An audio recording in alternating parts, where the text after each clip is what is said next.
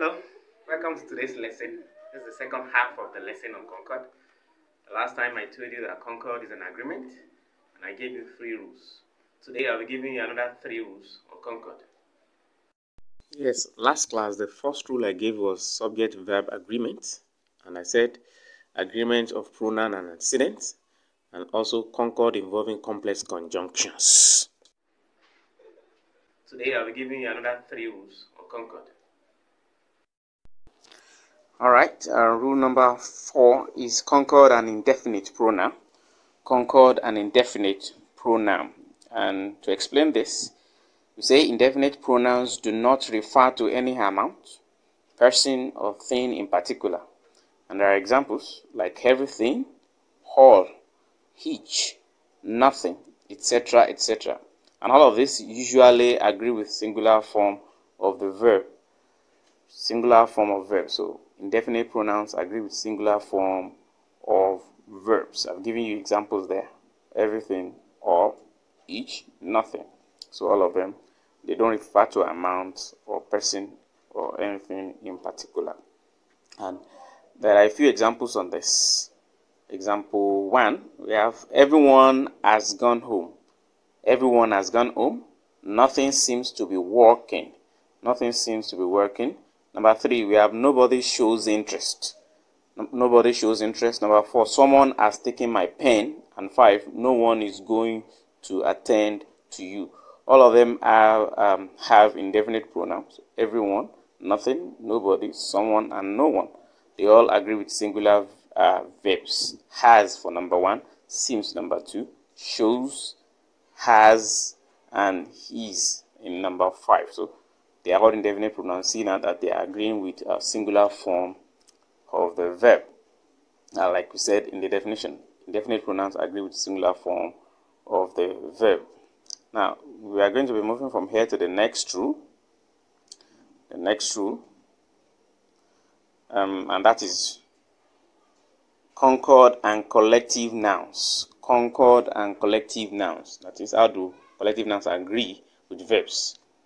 Now, um, here now, to explain the concord and collective noun, uh, we say that uh, if the collective noun refers to a group as single unit, you take it as singular. It is singular, but if it refers to members of a group individually, then it is taken as plural I believe that's clear enough. You see the group together as a single unit, you start to be singular when you are making it in a sentence. But when you see individuals, then to be plural. And examples. My family is the richest in Lagos. A herd of cattle has invaded my farm. The poor are to be taken care of. Number four, the public are not helping matters in the fight against the virus. Then number five, the crowd at the bank was enormous. For number one, the family are together, one unit, so is.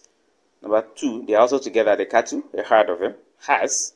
The poor, so different people have different problems, so they have. The public, refer, uh, they are doing things in different ways, so that is, everybody is uh, reacting in their own different ways, um, giving different attitudes. So, and the last one, the crowd is enormous. The crowd, a group of them, is enormous. Enormous. The crowd is seen as one unit. The crowd at the bank was enormous. Enormous means big. All of them together. Now, the last rule for this topic is agreement of amount and figures. Agreement of amount and figures. Now, usually figures and amount are singular, but if a plural noun or pronoun appears in the subject position and is closer to the verb, the verb will be plural. Let's say there are two kinds of noun, but the one that is closer to the verb is plural, then the verb will be plural. If not, there's no plurality anywhere, everything remains singular, then the verb will be singular. So that is uh, that rule. That's the rule that governs that one. So the rule of proximity also takes place in this uh, case. Remember the rule of proximity, closeness, whichever is closer. Now, examples. 75% is good enough.